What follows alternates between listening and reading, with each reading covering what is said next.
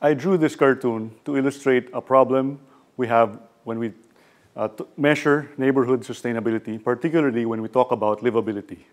It was inspired by an American study where a highly regarded neighborhood was evaluated using a livability checklist.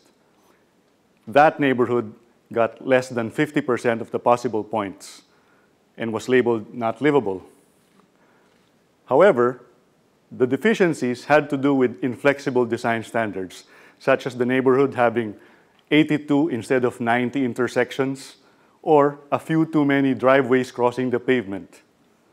Yet, almost every resident agreed that they wanted to live in that neighborhood. This shows that experts like me, architects and planners, have been no longer connected with what people value about their environments. We have lost touch with what livability means.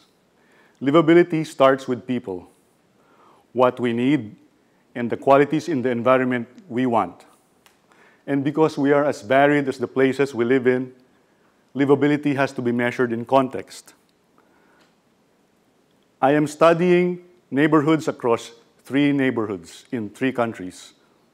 Australia on the Gold Coast, a multicultural population in a semi-tropical climate, the Philippines in Quezon City, a very dense population in the hot and humid tropics, and Ireland in Lisburn, a relatively homogeneous population in a temperate climate. I also plan to reverse how we read this cartoon. First, we ask what people like and not like about their neighborhoods.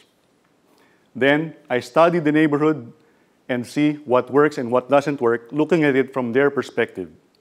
I put this all together and propose a more responsive livability checklist that can be tailored to a particular context.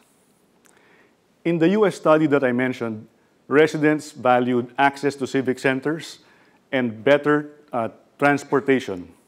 Would residents on, of the Gold Coast, uh, Quezon City, and Lisburn value the same things? My title is How We Dwell. To dwell means to live in a particular place. I am studying how people dwell in their neighborhoods. It goes beyond building techniques and values what makes us happy in our small corners of the world. Thank you.